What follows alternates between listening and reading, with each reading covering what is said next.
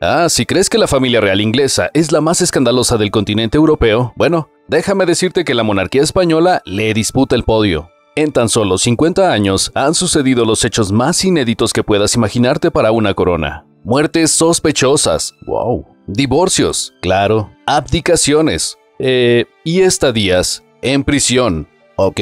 ¿Quieres saber de qué estoy hablando? Bueno, pues entonces quédate con nosotros en este nuevo capítulo de Historia Sorprendente para conocer los escándalos más bizarros de la corona española. Pero antes de comenzar no olvides dejar tu me gusta y suscribirte al canal para que no te pierdas nuestro contenido. Ahora sí, ¿listo? Bien, comencemos. Número 1. La misteriosa muerte de Alfonso de Borbón. Permíteme presentarte a ellos, Juan Carlos I y Alfonso de Borbón. Son los hijos de Juan de Borbón, jefe de la Casa Real Española y de la princesa María de las Mercedes de Borbón y Orleán. El primero de ellos se convirtió en rey de España y el segundo, bueno, no tuvo una larga vida. ¿Qué ocurrió con él? Veamos. El 29 de marzo del año 1956, Juan Carlos I jugaba con su hermano Alfonso de Borbón y Borbón, Alfonsito, en la planta de arriba del palacio. Eran las 8 de la noche, pero de pronto se escuchó un ruido. El ruido provenía de un revólver de pequeño calibre. Alfonso había recibido un disparo que acabó con su vida en el acto. En ese momento Alfonsito solo tenía 15 años y sus padres subieron lo más rápido posible al cuarto de juegos, pero ya era tarde. Pese a los intentos de los condes, Alfonso había muerto. Según la versión oficial, el futuro rey emérito español Juan Carlos I disparó el arma accidentalmente. Aunque bueno, existen decenas de teorías conspirativas que especulan que no fue una tragedia, sino que todo se trató de un asesinato intencional. Número 2. Cifras millonarias. Bien, a él ya lo habíamos presentado, al rey de España Juan Carlos I. Bueno, en realidad ex rey. Juan Carlos I fue rey de España desde el 22 de noviembre de 1975 hasta el 18 de junio del año 2014, momento en que abdicó la corona y subió al trono Felipe VI, su hijo. Tras la renuncia a su cargo, Carlos continuó usando el título de rey con carácter honorífico y mantiene el tratamiento de Su Majestad hasta el día de hoy. Pero vayamos a lo importante aquí.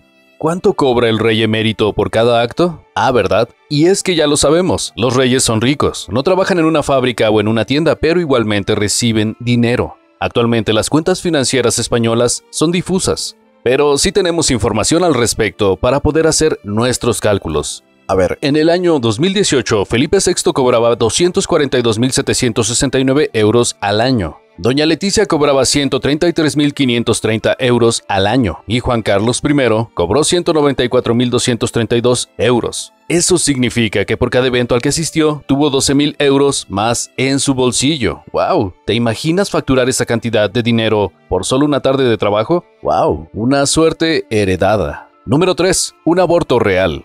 ¿Alguna vez han escuchado hablar sobre David Rocasolano? Bueno, si no lo han hecho, no se preocupen, esto es historia sorprendente. Aquí se los presentamos. David es el primo de Doña Leticia, la esposa del rey Felipe VI y la actual reina consorte de España. Ok, bueno, ahora que ya lo hemos presentado, vayamos a lo importante. David Roca Solano en el año 2013 publicó su libro llamado Adiós, Princesa. En él cuenta oscuros secretos sobre la monarquía española, en particular sobre la reina Leticia. Entre todo lo que relató sobre su pariente en el libro, quizá lo que más despertó revuelo fue el posible aborto de la reina española. Sucedió aproximadamente un año después del compromiso real. La reina, por su parte, jamás desmintió la acusación. Número 4. Una amistad. Algo polémica.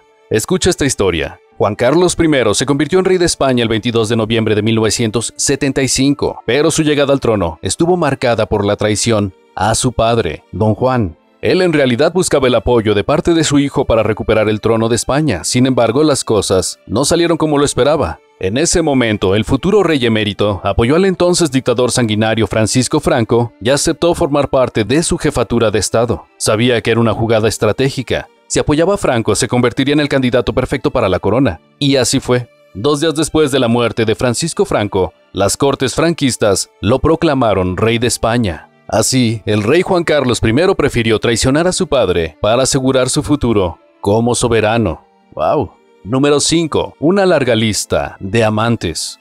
El rey Juan Carlos I contrajo matrimonio con la reina Sofía. Dieron el sí el 14 de mayo de 1962 en la Catedral de Atenas, en Grecia. Así, Sofía, hija del rey Pablo I de Grecia, se convirtió en reina consorte de España. Juntos tuvieron tres hijos, la infanta Elena, la infanta Cristina y el actual rey de España, Felipe VI. Pero a pesar de su matrimonio con Sofía, el rey emérito continuó conociendo mujeres y estableciendo vínculos románticos con ellas. Sí, básicamente el rey español engañó a su esposa, y no solo una vez. Juan Carlos I tiene una gran lista de amantes. La mayoría de ellas son mujeres conocidas. Una de ellas es Corinna Susanne Wittgenstein Belleberg, una empresaria alemana también conocida como Corinna Larsen, de origen aristocrático.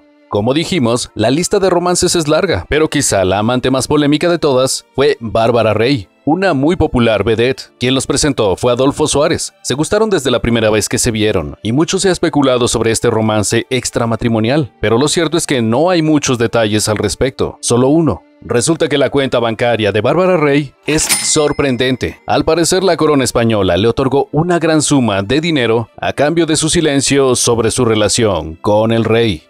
Ok, sí, como verás, la infidelidad no es solo propiedad de la corona inglesa y la relación del rey Carlos III y Camila Parker Bowles. No, los demás royals europeos no se quedan atrás. El rey Juan Carlos I jamás hizo comentarios públicos al respecto.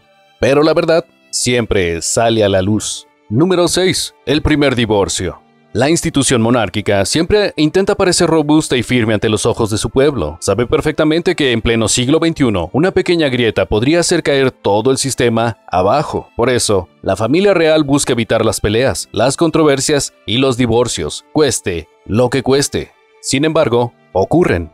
Las parejas se separan, incluso si forman parte de alguna monarquía europea. Ese fue el caso de la hija mayor de los reyes, la infanta Elena, y su pareja, el aristócrata Jaime de Marichalar. Se casaron el 18 de marzo de 1995 en la Catedral de Sevilla. Tuvieron dos hijos, Felipe Juan Froilán y Victoria Federica. Pronto, el matrimonio comenzó a experimentar dificultades. En 2007 anunciaron su separación y tres años después, en 2010, la pareja se divorció. Fue el primer divorcio de la familia real española. Fue una noticia sorprendente para el público español. Tras el divorcio, Jaime de Marichalar ha mantenido un perfil más discreto, abandonó la vida pública y se adentró al mundo empresarial, y por su parte la infanta Elena ha mantenido una relación amistosa y respetuosa con su ex esposo, y han trabajado juntos en la crianza de sus hijos. Menos mal. Número 7. Expulsión y cárcel. Aquí vamos. La infanta Cristina contrajo matrimonio con Iñaki Urdangarín, un exjugador de balonmano, el 4 de octubre de 1997. La ceremonia se celebró en la Catedral de Santa Eulalia en Barcelona, España. Juntos tuvieron cuatro hijos, Juan Valentín, Pablo Nicolás, Miguel e Irene. Pero lo importante en esta historia no está relacionado a romances secretos o relaciones extramatrimoniales, no.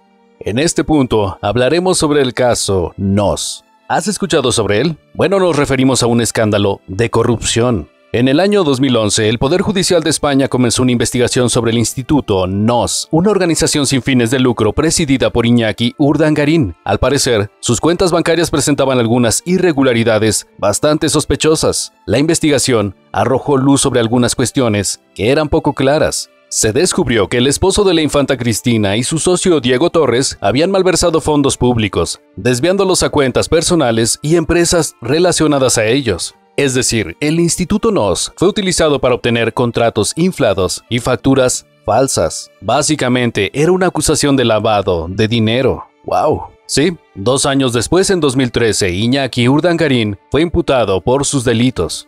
Fraude, malversación de fondos y tráfico de influencias. En 2017, finalmente, el Tribunal Supremo de España dictó una sentencia que condenaba a Urdangarín a una pena de prisión de 5 años y 10 meses, además de una multa económica. Por si te lo estás preguntando, por su parte, la infanta Cristina fue acusada de cómplice, sí, pero en el juicio fue absuelta de sus cargos penales y solo se le impuso una multa por ser beneficiaria indirecta de los fondos malversados. Ok.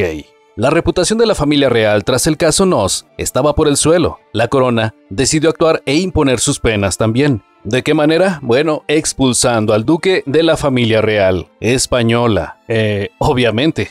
Número 8. Discursos polémicos. A ver, lo cierto es que la familia real española tiene un compilado de discursos bastante polémicos. Quizá el primero en el podio fue el expresado por el rey Juan Carlos I el 10 de noviembre del 2007 en la cumbre iberoamericana de jefes de Estado, celebrada en Chile. El entonces presidente de Venezuela, Hugo Chávez, interrumpió en reiteradas ocasiones al rey Juan Carlos I. El soberano reaccionó haciéndolo callar. Sí, así como lo escuchaste, literalmente le dijo, ¿por qué no te callas? ¡Wow!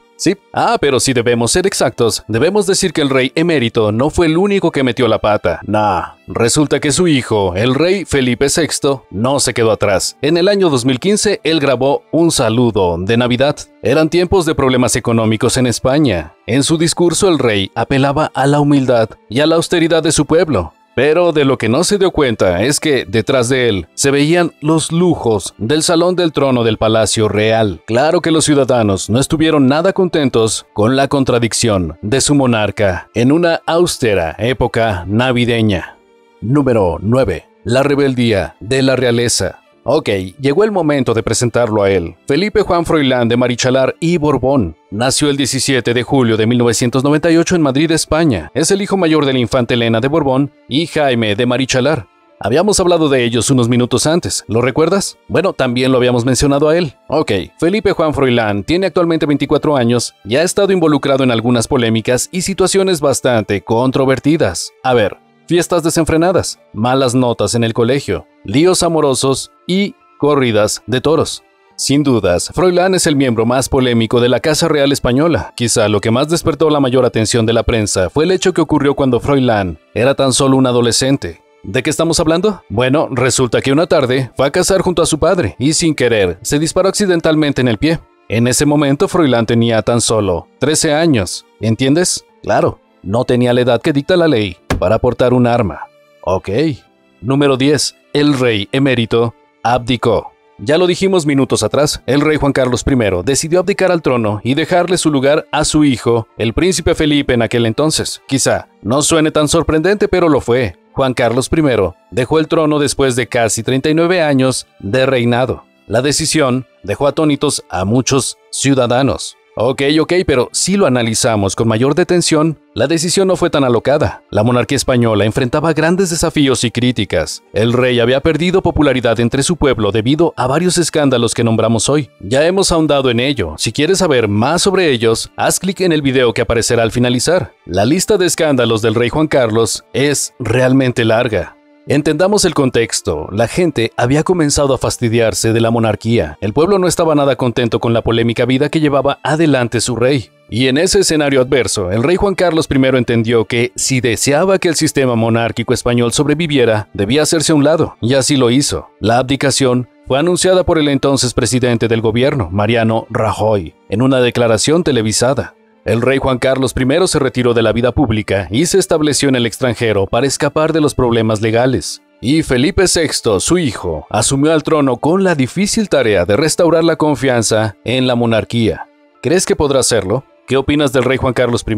¿Sobre qué otra familia real te gustaría escuchar? Bien, pues déjanos un comentario y mientras lo haces, no olvides ver uno de estos otros videos de nuestra sorprendente y muchas veces bastante polémica historia. Hasta la próxima.